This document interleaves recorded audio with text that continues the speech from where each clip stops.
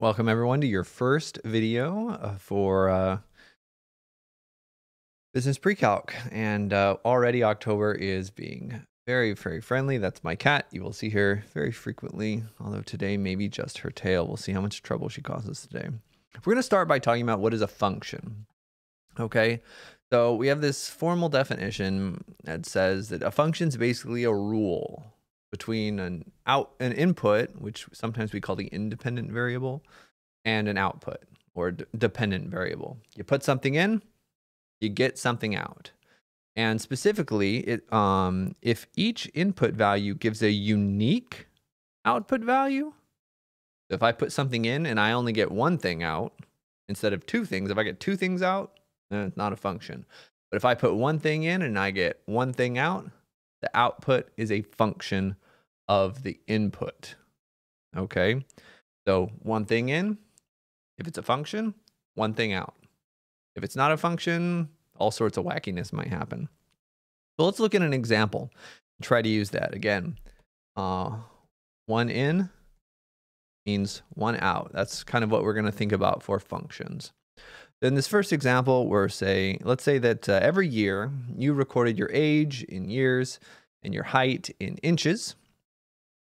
So is height a function of age? Okay, so the output is a function of the input. That's that's the wording. Okay, so this is the output. And this is the input.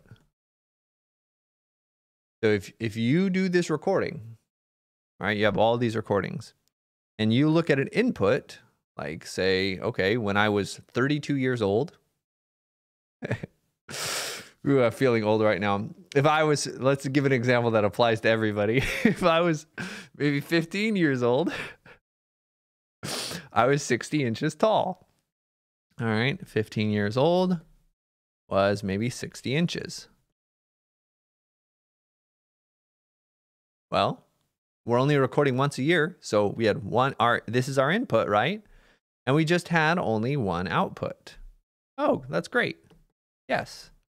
In fact, if we, if this is how we recorded this data every year, we'd record the height at the start of that year on our birthday or whatever. Then any year we ask ourselves, we can check and we have one output. We were this many inches tall on that day. Okay. One input was one output. Now let's flip the question. Is age a function of height? Now age is our output, which is different from before. And height is our is our input our input. Okay, so how does this change things? Well, now we're flipping the question and saying, okay, um, when uh, if I were 60 inches, how many years old was that? And some people, this might be a function for. Some people, maybe you're only 60 inches once. Some people, I'm not targeting anyone, but some people are 60 inches for a lot of years. some people are five foot tall for many years. And that, so in that case, this could be a function. We don't know. We really don't know. The other one we knew for sure, but yeah, maybe maybe we were this when we were 14. Maybe we were also this height when we were 15. Who knows? But in this example, it could possibly not be. Let's box our answers. That's always a good habit to be in. Uh, so our answer here is uh, maybe, it depends. It depends on your specific data. It doesn't have to be. And here's an example where it could maybe not be. All right, let's keep going. We're at a coffee shop and there's this menu and there's items and their prices. Is price a function of the item? Okay, remember price.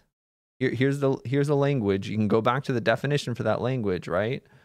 The output is a function of the input. So price is the output in this in this formulation function of the input. And then we'll ask the reverse question afterwards. This is really two questions just like before. It's just not split up into A and B. Okay, well, if I give you an item, let's say at this coffee shop, I'm going to say I'm not particularly creative. Give me a break. Let's. We want the price of a coffee. Is that going to have one price or multiple prices on the menu? Okay, I'm not saying maybe the price changes whenever, but on the menu, if I look up coffee, is there going to be one price or multiple prices? There's probably going to be one price. Maybe five dollars. I don't go to coffee store shops. They're probably more expensive than five dollars, but whatever. Okay, so one input is one output. Check. Yeah, this is a function. And then for our little part B, I didn't really call it part B, is the item a function of the price? So again, if I give a price, say, okay, um, let's look at uh, look at everything on the menu that's three dollars and ninety nine cents. And again, it's a maybe. We don't know what this menu looks like, but you know, maybe we could get a scone for three ninety nine. Maybe we could get a a, a pop pop tart.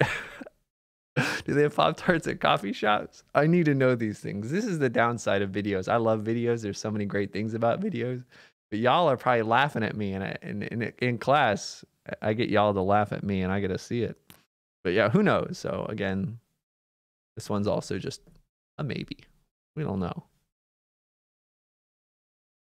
And the, it's it's not supposed to be. The question wants you to say no, but in reality, we don't know. Depends on what our menu looks like. And we got uh, we got something very similar with example three. We're gonna skip that one for now and move straight to the try it. Okay, so I'm gonna uh, want you to stop the video, look at this question, and uh, see if you get it right, and we'll do the explanation afterwards. Okay, so considering the bank account information, again, I, I really like labeling it this way. Is your balance a function of your bank account number? Okay, and then there's that little hint. If I put your bank account number, which mine is one, just kidding. I'm not gonna fall for that.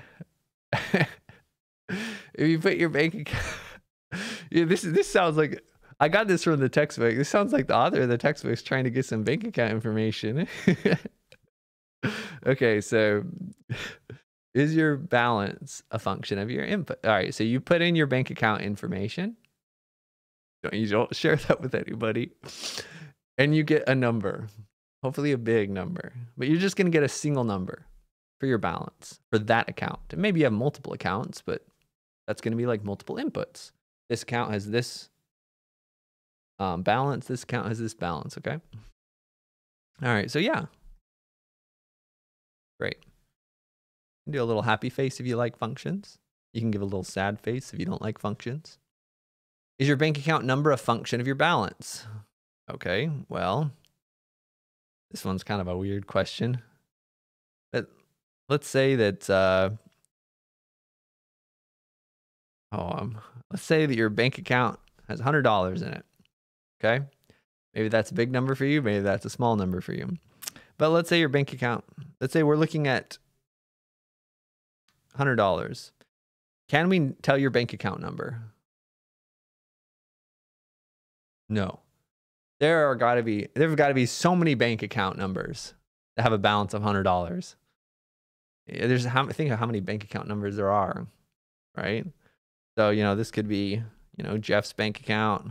Sorry, hold on bank account numbers. This should it could be bank account number one one. Two. Yeah, I, I don't know, whatever, and it could be this other person's bank account number. It could be right. A lot of bank accounts could have this this balance in it. So this one's this one's definitely a no. Again, maybe we give a little angry face or whatever, but we box our answers. That's uh, what a function is. Now you've got plenty of practice and uh, a little practice on how to not give away sensitive information on the internet. Anyway, have a good one. Bye bye.